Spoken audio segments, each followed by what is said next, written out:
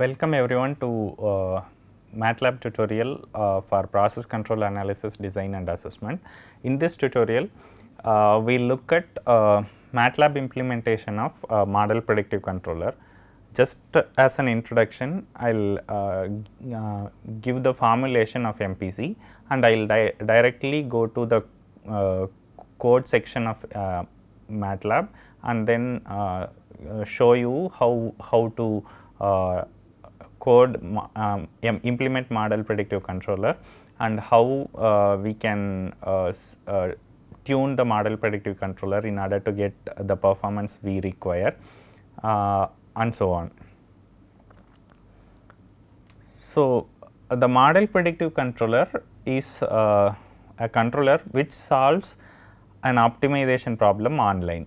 S- um, so, the optimization problem is formulated such that uh, the model predictive controller uses model and uh, it can be easily solved. Most of the time we uh, uh, solve a, a quadratic program opt- optimization. It computes optimal input moves uh, which uh, which is optimal in the sense of the objective function we have chosen. And since this is an optimization problem, we uh, it can handle constraints easily.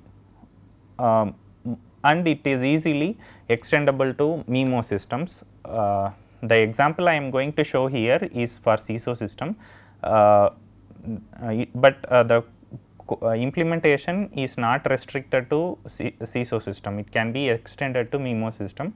Only that we will have to look at how the structure of each term in the objective function and the uh, prediction oriented terms uh, are in MIMO systems. Mm, and uh, MPC is also computationally time consuming. Uh, but uh, the examples which I am going to show here will be fast enough. But if we have more inputs and more outputs, for example, like uh, uh, 25 cross 20 system where we have 25 outputs and we have 20 uh, inputs, then such systems will require more uh, computational time in order to get the optimal, in order to calculate the optimal solution for the optimization. Now, this is the formulation where uh, we minimize the objective function where y set point minus y hat of k plus i whole square and there is a uh, minimum move uh, objective uh, added to the deviation from set point. Now, the y hat of k plus i is computed as uh, an impulse response uh, finite impulse response model with gamma coefficients and uh, we have the constraint that u of k plus i equals to u of k plus m minus 1 where i is m to p. So, what we are essentially saying is uh, though we have uh, gamma elements of u to uh, optimize, we choose to optimize only m elements and on top of it we have limit constraints on u uh, for all time instance which is from 1 to m. Notice that I have not specified what p is and what m is and neither have I specified the limits. So, these will depend on individual uh, uh, these will depend on individual applications and uh, we may have to modify them to suit to get a better performance. Look at how we can compute and make the computation easier for us to implement it in MATLAB. So, we are computing summation i equals to 1 to p y of k plus i reference minus y hat of k plus i whole square. So, we need to compute y of k plus i y hat of k plus i as a function of h 1 to h gamma. So, we have h 1 u of k plus h 2 u of k minus 1 all the way up to h gamma u of k minus gamma plus 1. Now, uh, in this optimization function we have minimize u, this u is constructed such that it has u k, u k plus 1 all the way up to u k plus m minus 1. So, these are the unknowns which we which we have to optimize. So, this u k is unknown whereas the rest of the terms are known. So, this essentially uh, evaluates to a constant uh, and the next term y of k plus 2 will be h 1 times u of k plus 1 plus h 2 times u of k plus all the way up to h gamma times u of k, k minus gamma plus 2. This will continue up to y hat of k plus m minus 1 which is h 1 times u of k plus m minus 2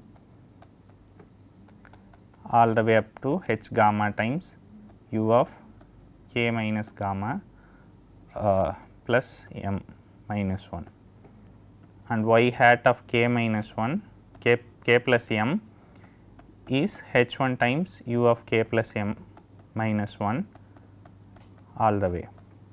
Similarly, we will have y hat of k plus m plus 1 is here is where we use the constraint that u of k plus m equals to u of k plus m minus 1. Because of that we will have h 1 plus h 2 times u of k plus m minus 1 plus all the way. So, finally, we will have y hat of k plus p which is h 1 to h uh, into u, u of k plus m minus 1 and etcetera. So, we can notice the general structure where we have h 1, h 2 h 1, h 3 h 2 h 1 like this times u plus some known matrix which we can formulate. We will look at uh, MPC implementation in MATLAB. Uh, uh, shown here is the code which implements an MPC for a SISO system. Uh, first I have declared the system here as a transfer function with uh, 3s plus 1 divided by 2s square plus 5s plus 1 as the transfer function and uh, I have discretized the system using a, a, sampling time of 1, 1 second. So, the Ts equal to 1 impl implies that I have sampled the system once for 1 second and I have computed the impulse coefficient using the inbuilt function impulse. Now, in the next section I have declared the model. Um, so, uh, as a start we will start with the same system as the model and see how uh, the performance is then we will uh, look at uh, introducing plant model mismatch and see how the MPC performs. So, I will just comment the this line also.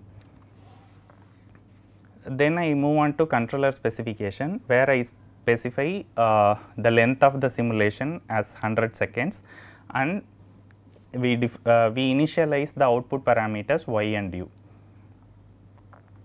Then I move on to uh, tuning parameters which we can change uh, uh, based on the requirement.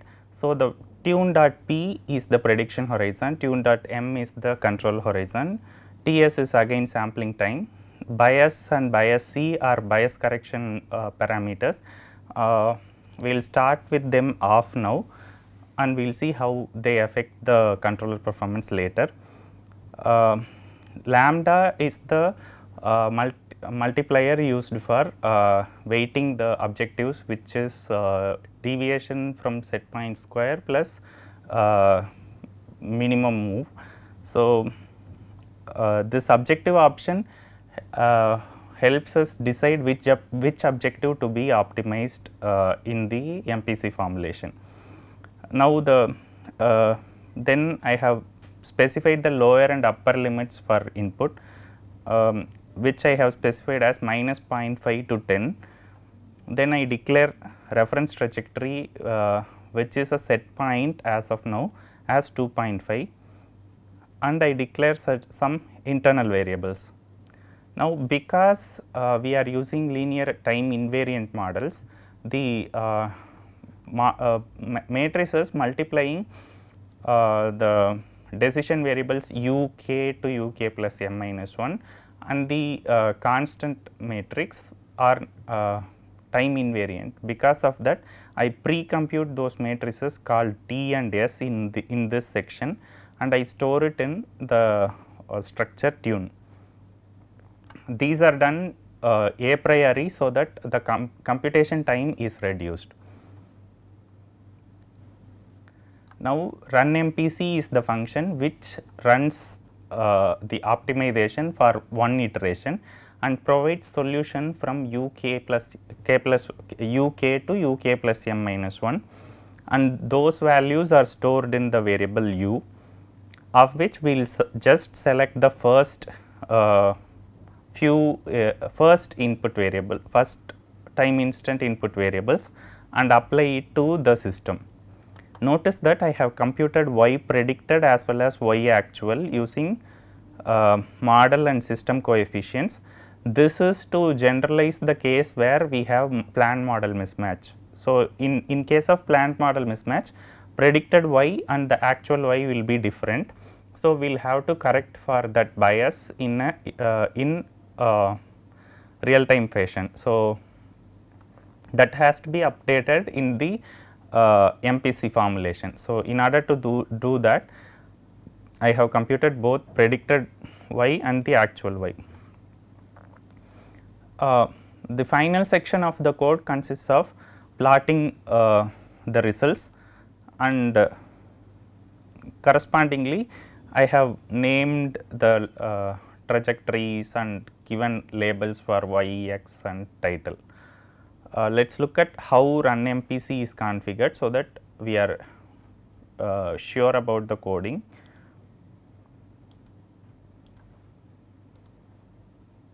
So, here uh, you can see the run MPC function. Uh, it takes reference y the model uh, parameter as model, tune uh, structure as tune, OP is the uh, previous iteration, uh, previous time instant input variables. Uh, these are used to compute the constant which is uh, part of MPC formulation and the u naught is the initial condi initial condition or initial guess for the optimization. In the first two lines I have uh, created a matrix containing the input lower limit and upper limits for um, repeated m times. In order to do that I have used uh, MATLAB function repmat and I have also given a provision for specifying terminal constraint which is y of k plus p equals to uh, y set point which we will do in the in a later case. So, now we will be running this case where we have no constraints other than limits.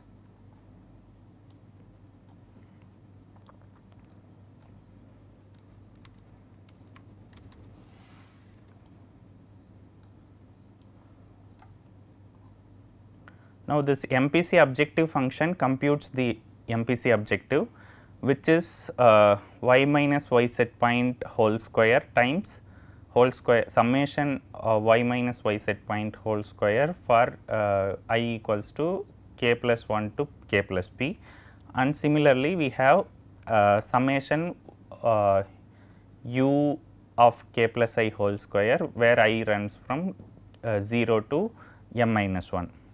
So, that is calculated here the in order to compute yp we use that uh, the, the matrices which we computed as t and s here t times u, u is the uh, decision variables containing u of k to u of k plus m minus 1 and the op is the variable containing previous iteration u values. So, we will have yp as a vector of uh, uh, p uh, output variables and then uh, we update the bias here by um, uh, constructing a vector of uh, p uh, values repeated either as zeros or using the constant which is computed in the previous iteration. Then we have two cases where uh, in one case we do not have this uh, uh, summation u, u of k plus i whole square and in, in the other case where we have summation u of uh, k plus i whole square. The effect of this will be uh, uh, easily seen later. Let us uh, move on and run the code. So, this is the function that has to be uh, sorry this is the script we have to run in order to uh, see the performance of MPC. Let us run it.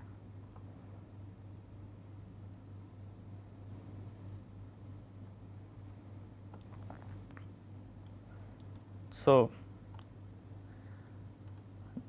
now you can see that the uh, system reaches the set point fairly quickly within say uh, 10 to 15 seconds. We can zoom in and see. So, around 15 second it reaches 2.5 and stays there. Uh, and notice the input variation it starts from 3.3 goes down to 2.5. So, it has 0.8 as the variation. Now, uh, without closing this uh, window, I am going to just change the type of objective which we have used. So, this the objective we have used did not have the summation of u square. So, if uh, if we just change the objective, how will the system perform? Is what we are going to look at now.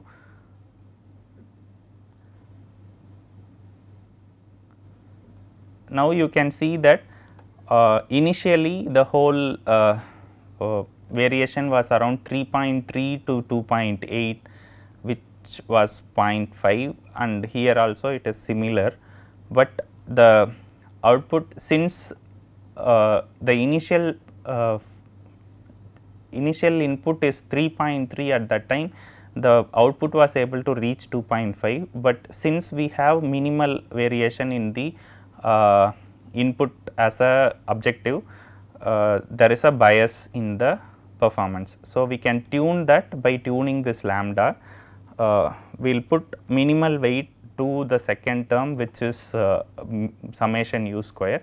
Let us see how that works. hold on.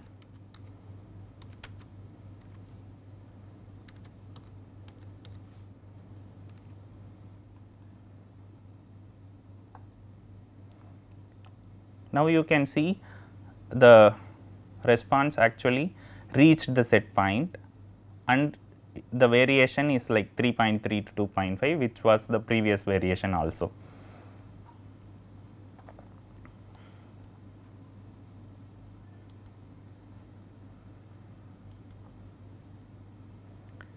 Now, let us uh, look at introducing model plant model mismatch and how the system performs.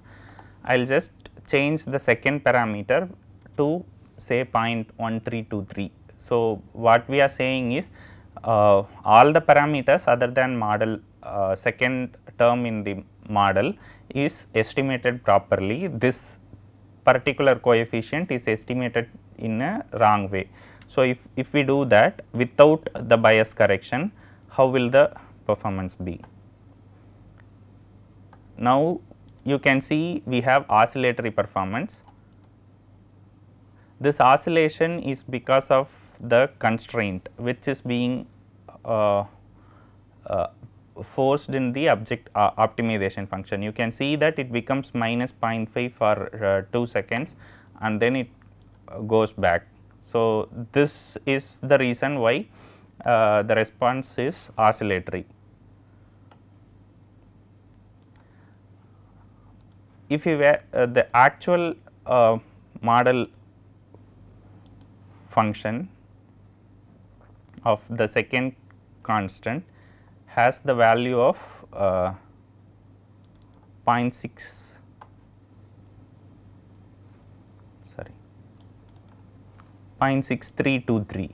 So, when the model is changed by the second coefficient is changed by 0.5 we have oscillatory response. We can change this to say 0.3323 uh, where with uh, we will have smaller variation than the previous case. We will have uh, fairly stable response. You can see that uh, this green curve goes to sta stable uh, and it reaches the set point.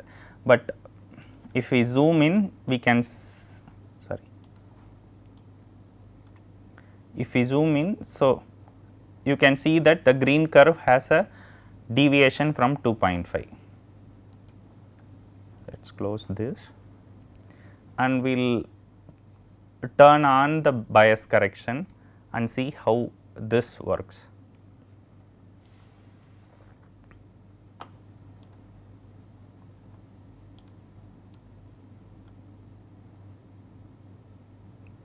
So, we have like uh, 0.1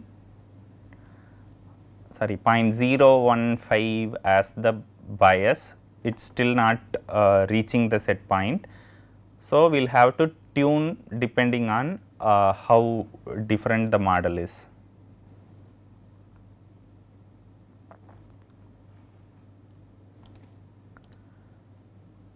Uh, the other way of eliminating this plant model mismatch is to uh, add filters like Kalman filters which uh, which uh, estimates the uh, uh states online using measurements. So, we can tune the filter to have optimal performance and then we can couple the filter implementation along with MPC so that will have better control. next, next let us look at when the reference trajectory is changing, how the system will respond. So, we will uh, change the re reference trajectory as a uh, first order uh, mm, response, first order uh, response with some time constant as 5, 5 seconds and we will use the same model as the system and see how the system responds. So, the idea is uh, we uh, uh, we are not restricted to using a single set point, we can give a reference trajectory which is a function of time and we can still control the system fairly uh, uh, easily. So, you can see that the control, uh, reference trajectory is a uh, first order response and the system was able to reach the trajectory.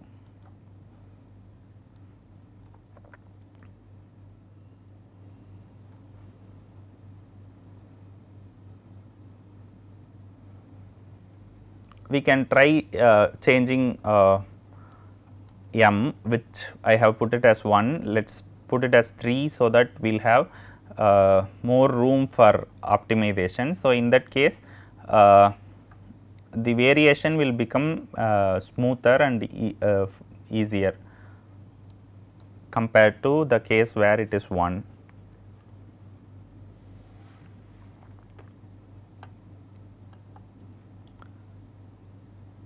So, the orange curve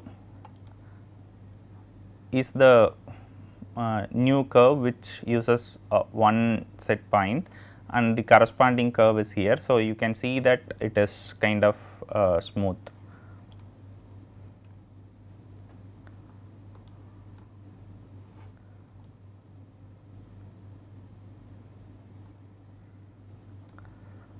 We can uh, increase the uh, prediction horizon together with control horizon to get a better uh, performance. So, in that case we will um, so, sorry uh, let us see here.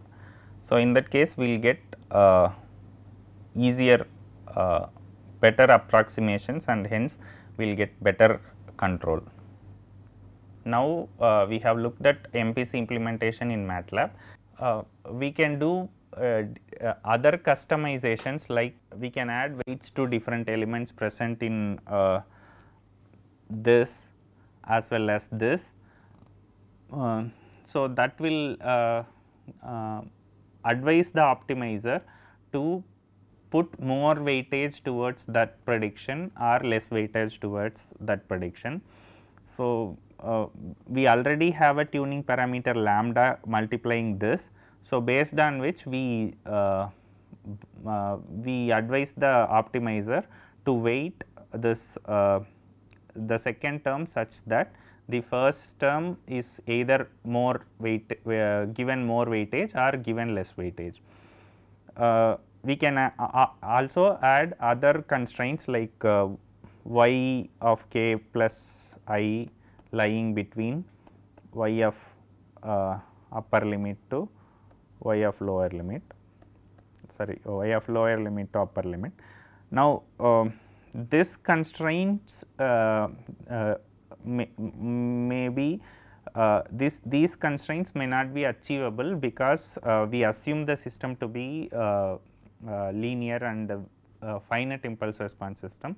So, there are plant model mismatches because of that we may not exactly match this constraint, but we can uh, give some room for the constraint uh, to be relaxed, so that we can still get a feasible solution. So, uh, adding this constraint which is on uh, output uh, limits will uh, may lead to feasibility problems. And we can add other constraints like delta u being within some delta u limits and uh, other constraints called coincidence point which will uh, help us reach the set point faster by means of specifying y hat of k plus i to be equal to some y reference of k plus i. But uh, remember this is also an output constraint because of that we may have a problem of feasibility. The terminal constraint which is y hat of k plus p equal to y ref of k plus p is uh, easy to implement and it also stabilizes the uh, controller. So, uh, we may we, we not have oscillatory response with this uh, this con uh, constraint present. So, MPC formulation um, is not just restricted to SISO systems, we can always use uh, or extend this to MIMO systems in that case the H1 matrix H1 will become a matrix. So, we will have H11, H12 all the way up to H1m and Hn1 all the way up to Hnm. So, similarly we will have for each coefficient like this. Uh, so, uh, it can be easily extended for MIMO systems we can as well use nonlinear model to predict y, y hat of k plus i. But the problem is if we are to use nonlinear model, uh, the optimization becomes nonlinear optimization. Uh, so, we may end up with uh, local optimum rather than uh, global optimum, which is what we get in this uh, uh, by solving this optimization function. Um, so, like uh, the MPC formulation by itself does not specify which type of model to use other than that uh, if we were to if we have to solve optimization problem uh, in a quadratic programming uh, framework are using linear programming principles, the model has to be linear. Other than that, there is no specification of how uh, which type of model to use for prediction. So, we can use any type of model for prediction, we can add constraints on both u's, y's, delta u's and other uh, other such constraints which may occur and we can as well customize the objective function based on uh, uh, minimizing u square or minimizing uh, delta u square, uh, minimizing time etc. Uh, so, the MPC framework by itself is uh, flexible enough, but it has to be customized and each constraint we add may each equality constraint we, we add and each output constraints we add may uh, make the optimization uh, infeasible.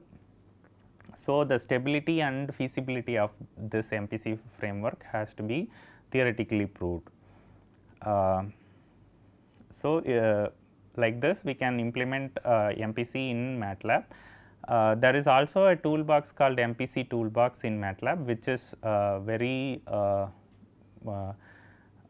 easy easy to learn at the same time it will be uh, uh, it, it will have more diagnostic facilities and uh, other options. So, I have shown here the traditional way of coding the MPC by hand and implementing it for a, any uh, system. So, uh, with this I finish MPC tutorial.